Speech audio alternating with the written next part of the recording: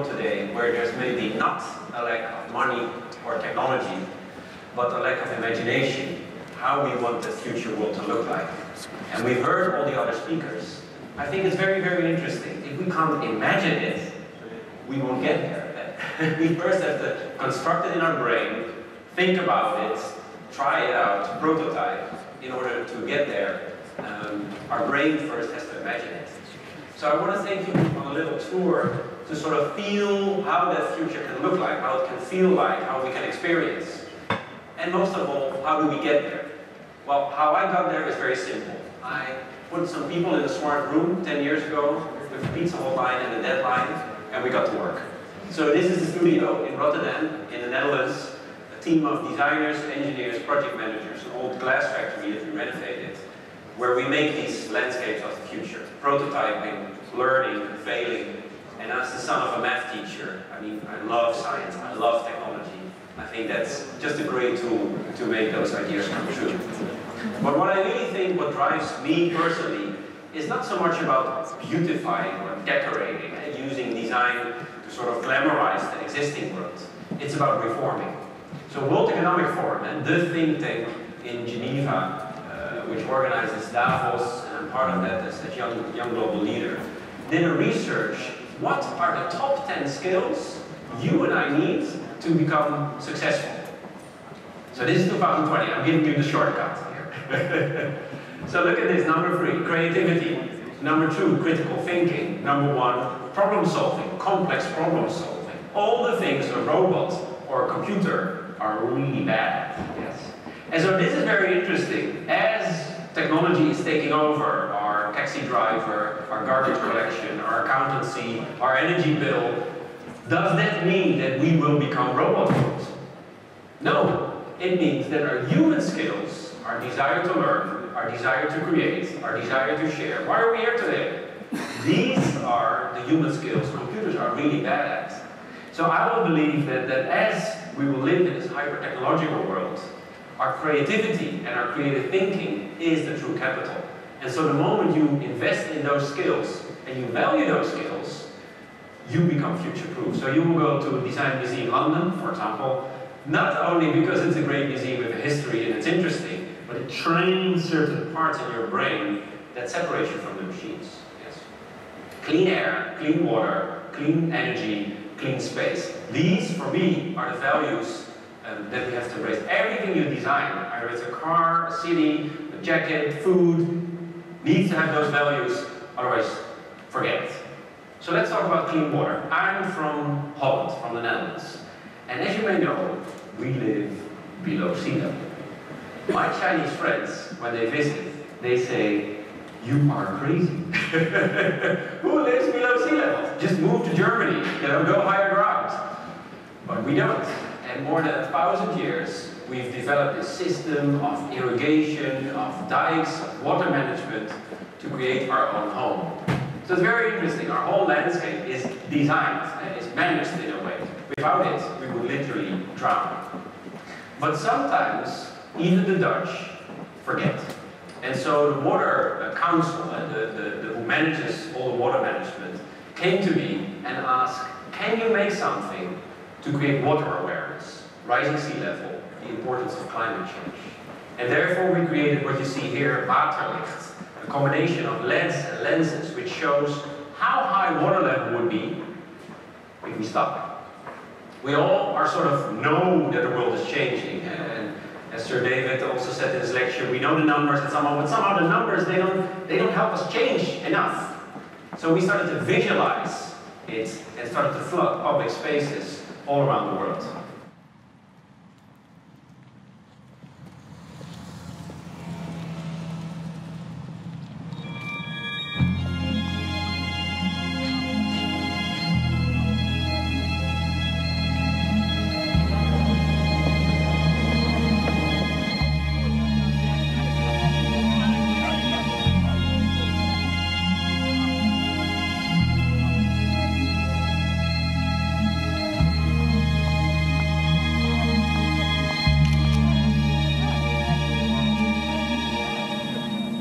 Best wel spooky. Spacey. Ja. wat ik, het gevoel dat ik erbij krijg is een beetje onder water. Dat je onder een, een, een laag zit. Ja, best wel mooi, vind ik. With the waves above us. And it's, it's magnificent. Ik weet natuurlijk dat we beneden zeeniveau zitten, maar ja, zoals je het zegt, zou dat eh, niet zo fijn zijn als ik dit opeens over me heen ga voelen. Nee.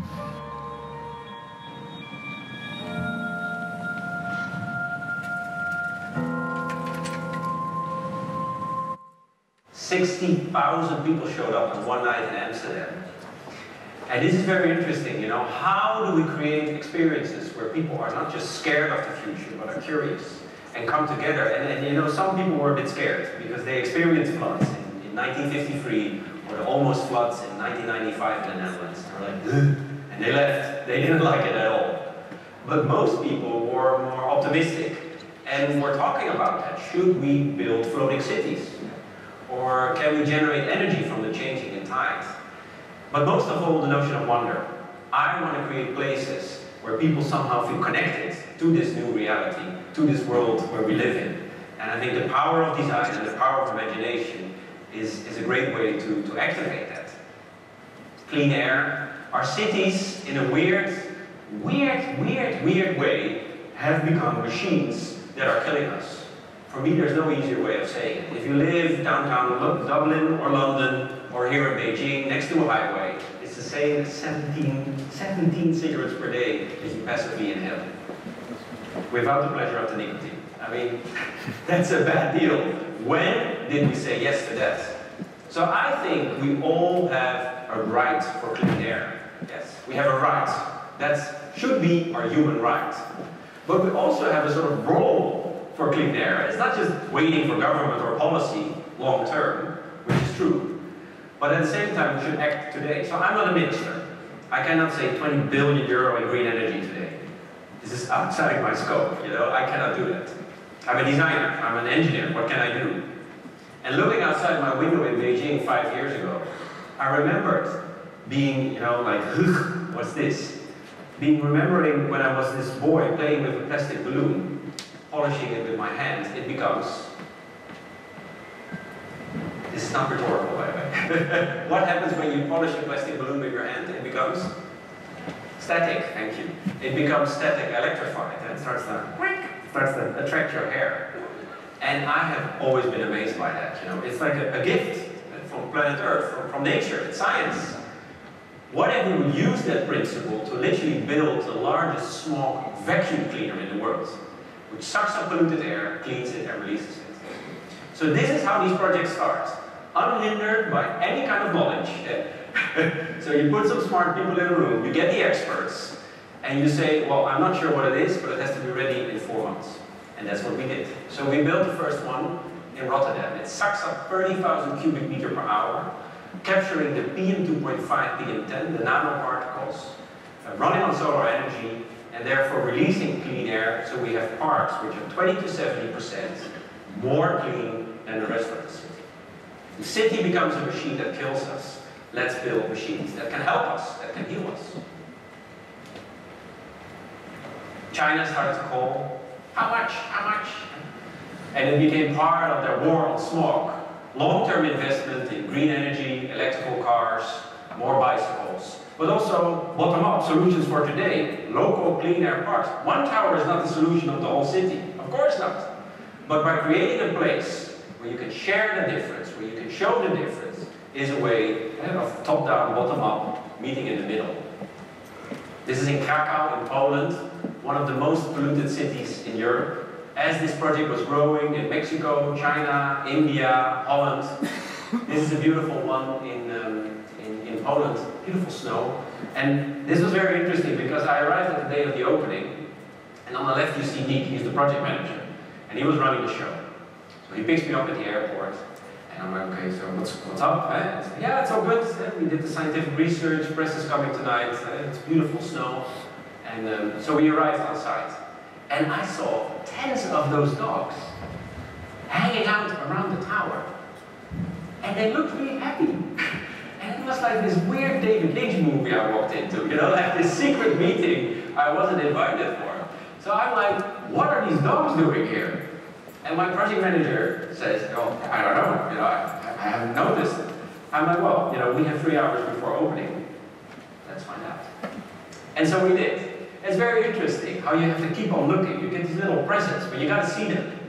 And we realized after two, three hours, of course, dogs have a very high sense of smell. And they can smell, what is it, 20, 200 times better than us human beings. So they were suffering from the smog, like way more. And somehow, somewhere, they could smell the clean air from far, far away. And they would start to abandon their owner and hang out around the tower. And uh, you see, that one is really happy with the tail. This one tries to be happy, but it's too small. Yeah. So if animals can sense what is good for us, why can humans not? We learn. This is Beijing smog. This is the stuff from the polluted urban skies. We believe waste should not exist. Eh? Uh, William McDonough, Cradle to Cradle, 30 years ago. Hello? Eh? Waste for the one should be food for the other. Somehow we never learn. This book is in my brain. So I looked at this incredible, disgusting case of death, put it under a microscope, and realized 42% is carbon. Carbon under high pressure, you get diamonds. That's interesting. Inspired by that, we compressed it by hand for 30 minutes and started to make smog-free rings. So by sharing a ring, you donate 1,000 cubic meter of clean air to the city where the tower is in. And this was very interesting because at that time, in this time, in this world, to pollute is still for free. in a way, we're talking about carbon tax, it will come one day, but to pollute is still for free. So we had a budget problem. Everybody was interested. But what is the price of clean air? Nobody knows. So, as we put this on Kickstarter, crowdfunding campaign, people started to purchase this ring. And so the money that we made, the finance we made with Jurley, helped to build more smog-free towers. And that is really powerful, you know, that somehow the waste was the activator, it was the enabler. But besides the money, because in a way, money is everywhere, it was community.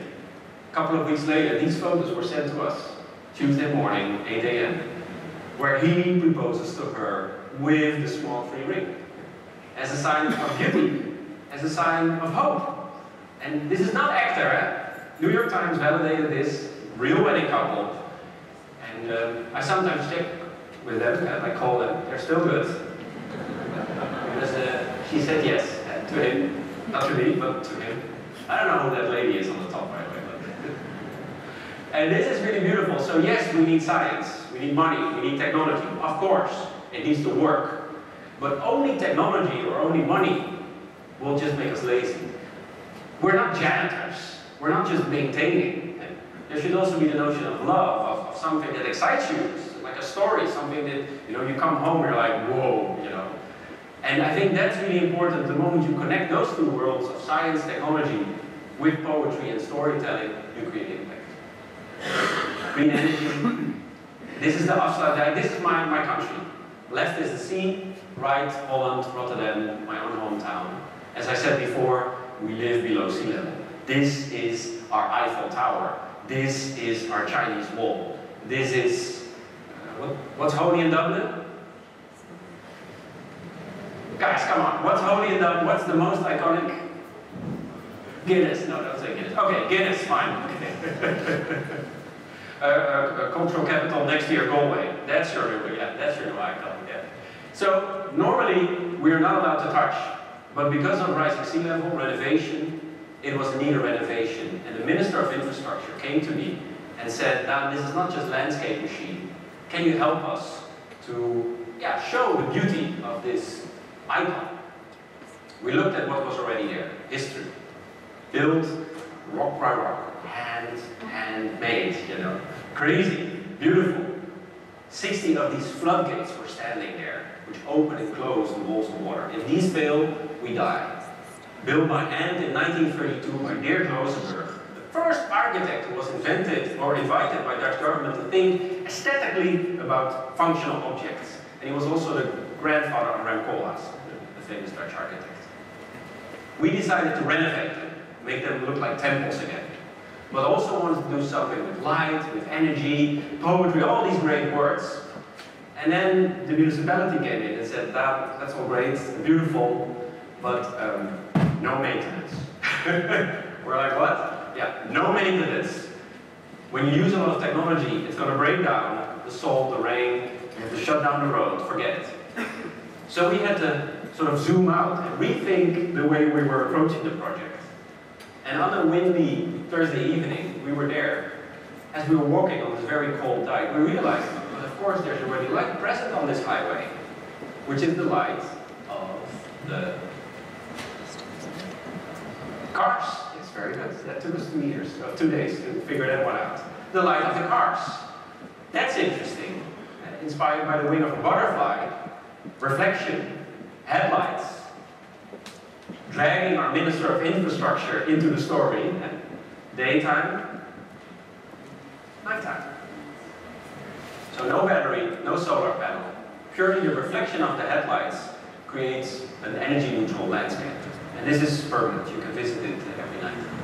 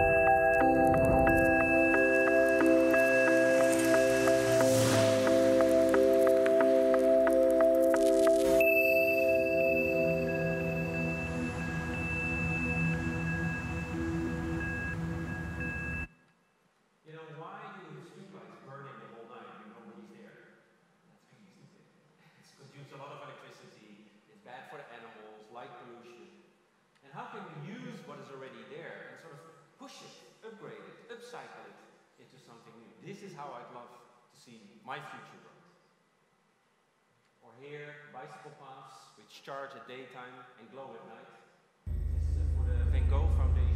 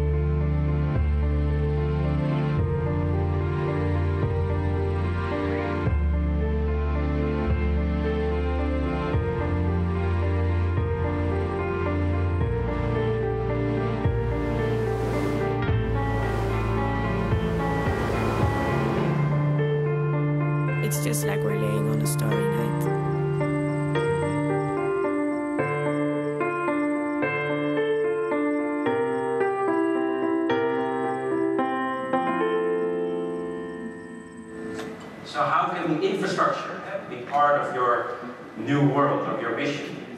These kind of projects are very intense collaboration, in this case with Heijmans, one of the largest infrastructure companies in the Netherlands, 2,000 people. Not a company which has the billions of euros R&D money on the bank like BMW or Tesla.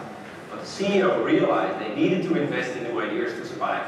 And they team up with people like me to make these kind of projects happen together. Last one, what are we looking at? Oh, I'm, I'm, I'm curious if you know this one. What are we looking at? A, a, an atom?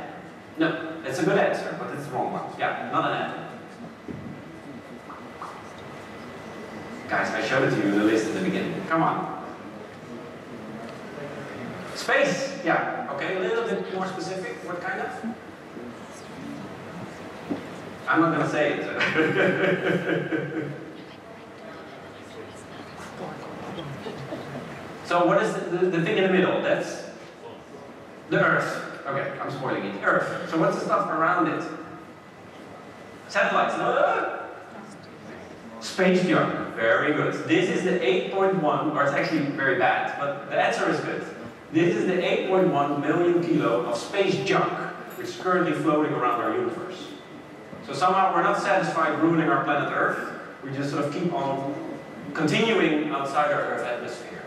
8, Sputnik, pieces of satellites and missiles started to collide and creating this layer of junk. Tiny particles, although very small, have an incredible high speed and therefore are like a bomb when they hit existing satellites and becoming a threat for our day-to-day communication. In the future, with 5G, no more banking, uh, no more uh, internet, no more Instagram. so we started to team up with ESA, launching the Space Waste Lab. Visualize, capture, and upcycle. For 20 years, really smart people have been working on this. But we live in a world where to pollute is for free, and cleaning up is not fun. How can we change that? So we started to track, to visualize where the space waste real time is above your head.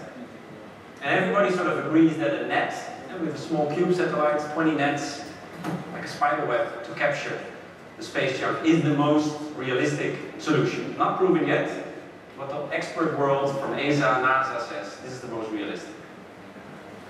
Then we had a big problem, like, okay, this is all great, but nobody wants to pay. Cleaning up is not fun. Yeah? Like when you were a boy or girl, and your mom says, or your dad says, clean up your room. It's like, yeah, whatever. I'll have my ice cream. I'll watch my television. I'll have my little popcorn. Cleaning up is not fun. And I think this was really interesting because I am not smarter than ESA at all. Because they're like super smart. But what I can do is add a new perspective, a, a new dimension. So we said, okay, once you've captured it, maybe it's not a problem, but an ingredient. Can we use it to 3D print houses on the moon? Which NASA is already scheduled to do, but then you're just shipping very expensive stuff from Earth all the way up. Upcycle it. Or here, once in a controlled re-entry way, it hits the Earth atmosphere, what happens then? It burns. So that's interesting. Waste is light.